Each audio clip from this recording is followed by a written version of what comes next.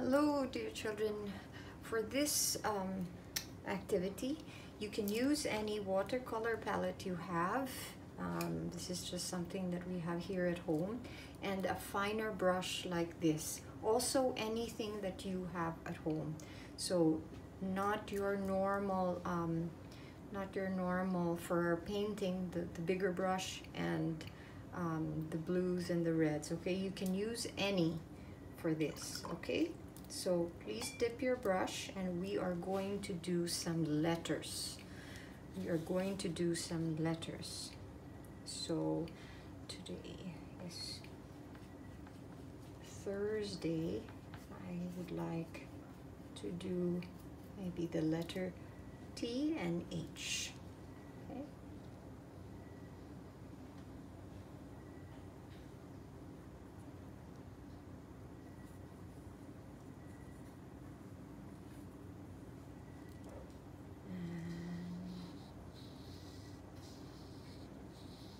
big letter T, right? And just slightly there.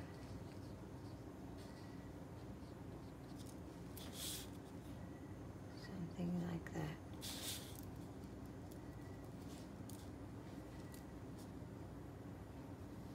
So you guys are painting the letter, okay? That's a very different thing than writing it, okay? So maybe we can do another one.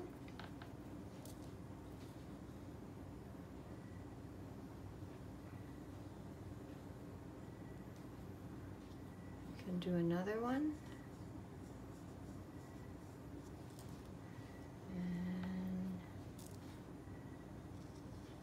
So you can't wet your brushes too much. This is kind of a dry, more of a dry exercise, but this is surely watercolor. I can fit, it depends on your paper,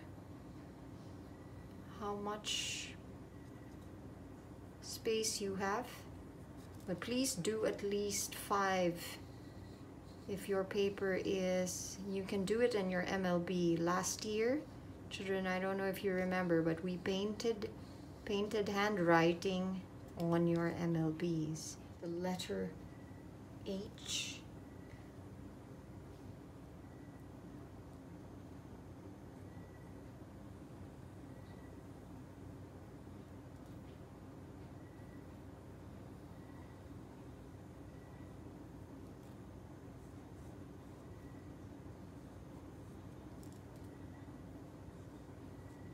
have a pretty flat brush so I can just do that. But the key there is to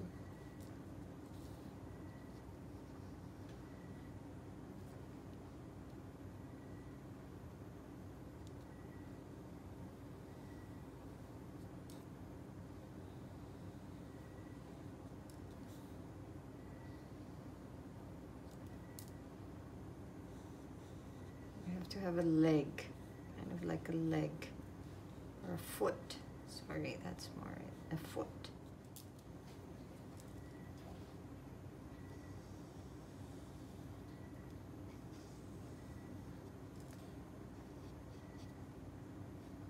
Okay, children, thank you.